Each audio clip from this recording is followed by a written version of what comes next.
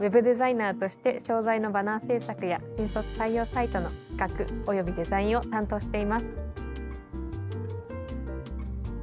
入社4ヶ月目から始めた新卒採用サイトのリニューアル案件です。企画から制作まで中心となって進める機会をいただき大きな成長につながっています。